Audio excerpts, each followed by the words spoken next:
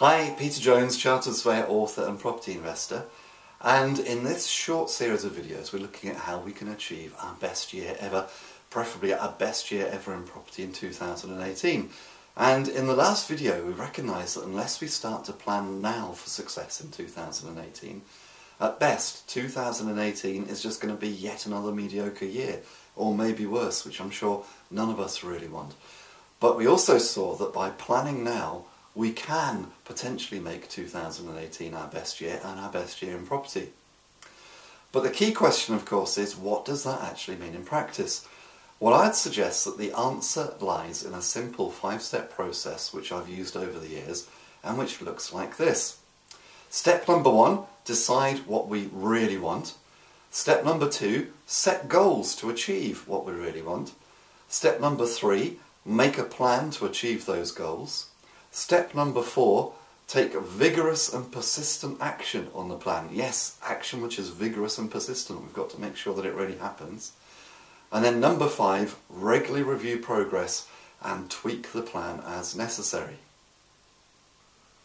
Now outlining the plan as a number of bullet points like that might make it seem simple, but don't be fooled. It's also extremely powerful and if we follow it, we can often achieve far more than we realise is possible.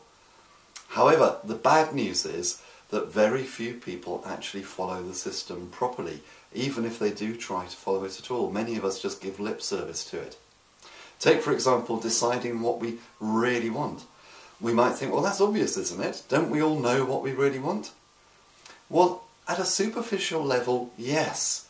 But unfortunately, for a lot of us, that's where it stops.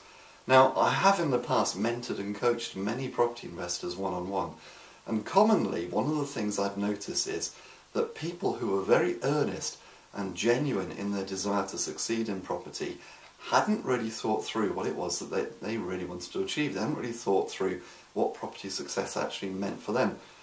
In other words, they hadn't really thought about and identified what it was that they really wanted and how property was going to provide what they wanted for them.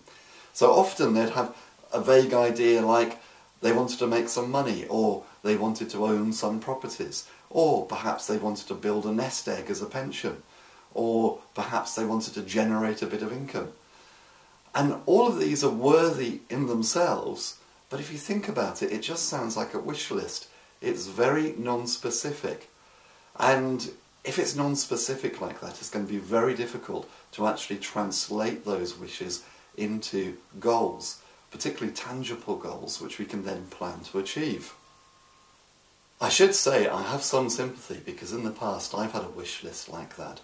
And I know that sometimes my mentees once were a little bit vague, just because they weren't entirely sure what property could do for them, especially if they are relatively new to property they obviously thought that getting into property was a good thing, perhaps because their friends had told them to, or maybe the headlines in the newspaper had told them that prices were going to keep going up, or perhaps they'd watched a TV programme where somebody had made some money from doing a property up. But when I pressed them, they didn't know exactly what they could actually achieve. And interestingly, I meet many people who get into property without fully knowing what it is that they want to achieve, and so they drift Determining and deciding what you want to achieve is a crucial starting point, but surprisingly, many people just gloss this over. And the trouble is that with nothing specific to aim for or to achieve, the inevitable result is that they achieve far less than they could or should if they just had something tangible to aim for. But assuming that we do know what we want, what then? Well then there's the whole process of goal setting which again can be problematic, especially for property investors. Even if we form precise financial goals which we want to achieve, articulating our financial goals as property goals can be a stumbling block for many property investors or would-be property investors. This is especially true if we're starting out with limited experience in property and we aren't entirely sure what we can expect to make from property for example from a specific property or from a specific type of property or by following a specific property strategy or technique. That's why I've refined the process to include this step in my home study course and resource, Goal Setting to Property Success in 5 Simple Steps, which I'll tell you about in a later video. We need to set goals, but as I get more and more experienced in this process, I realise that success isn't just down to setting goals, it's about the quality of the goals that we set. And by the way, please don't switch off at the mention of goal setting. I know that goal setting can seem a bit OTT and a bit old hat, but it's absolutely fundamental to our success.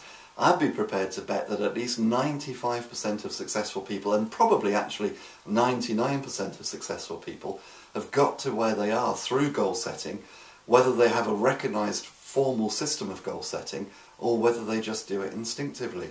So if it works for them, there's a great chance that it's also going to work for us. And one thing I do know is, when I set goals, I usually achieve them. When I don't set goals, I don't. So there we go. It's got to be worth doing. So in my next video, I'm going to show you six ways that we can ensure that the goals that we set for 2018 really are going to give us our best year ever. So until then, here's to successful property investing.